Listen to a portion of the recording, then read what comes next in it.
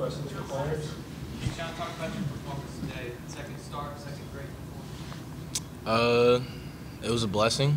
Uh, felt good going in after the first start. Just kind of went out there and just kept the same mentality as the first time. Just let them hit it, and my guys behind me made great plays and just made it look easy for me. So that's all it was. Logan, you guys have been hitting the ball hard. Did you feel like this offensive explosion was, was building towards this all year? Um, yes, internally, I feel like the people looking looking in or looking from the outside didn't really expect that. But I think on the inside, we knew what we had. Um, guys weren't established, but now they are. they kind of realized what we had in the lineup. Um, we're, we're looking forward to the rest of the season for sure. Excited about it.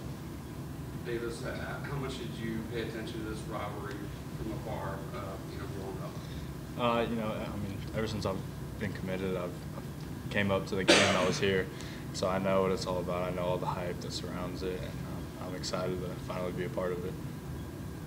Brooks, are, are you looking forward to taking the bump in your your home stadium uh, against the rival Friday? Yeah, I mean, last year I enjoyed, you know, pitching in Greenville. That was, you know, still an intense environment. But I'm looking forward to, you know, throwing on Friday in front of our home crowd and getting kind of them into it and stuff like that. So I'm really looking forward to that and everything. Brooks, what's it, what's it like, this rivalry, from somebody who's pitched in this like you have? What's it like, to say to somebody like Davis it? Yeah, I mean, you know, when I pitched, you know, my freshman year, I pitched on the Friday game at their place, and it was, you know, unbelievable there. You know, the crowd's into it and everything. So I mean, just each year, like just pitching in it, you get kind of used to it and accustomed to like how their fans are and everything, and how our fans are. So I mean, it's it's almost like a regional game. You know, the, the fans are into it. It's a, it's intense, but I mean, it's still a lot of fun. So it's really competitive games, and I'm looking forward to it.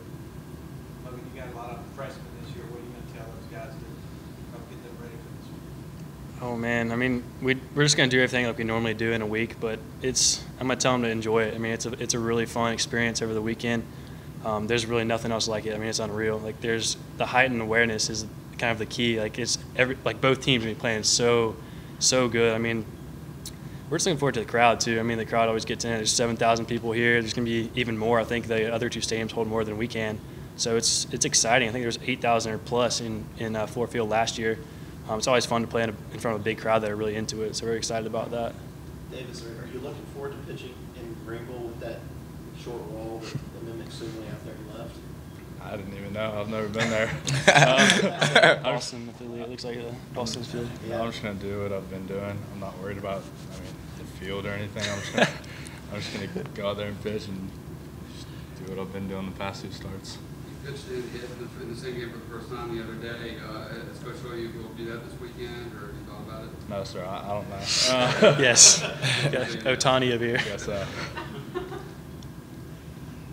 Keyshawn, back back to you really quick. What is it like being a freshman and, and being a part of this great freshman class that, that Monte's put together and actually contributing to the success so far?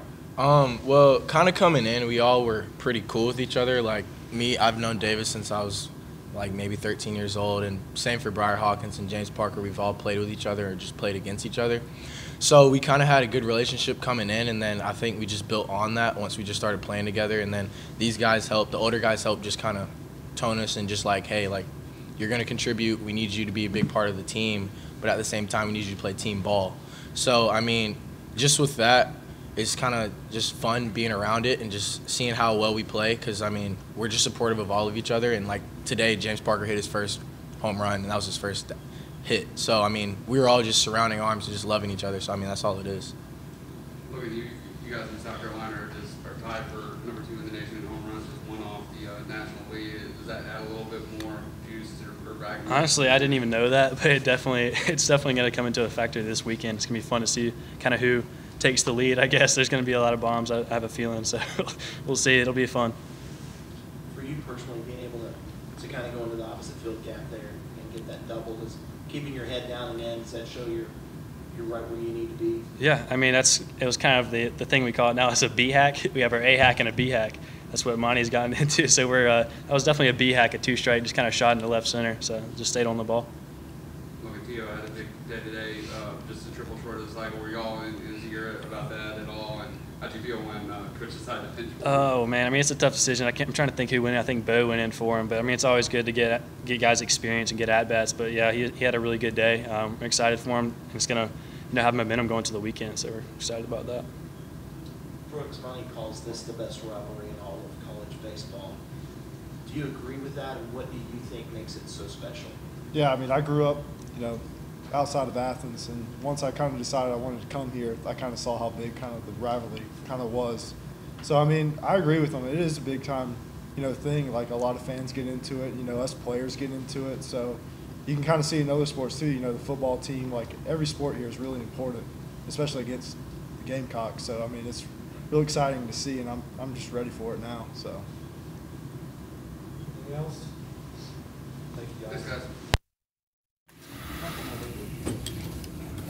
So all four of you got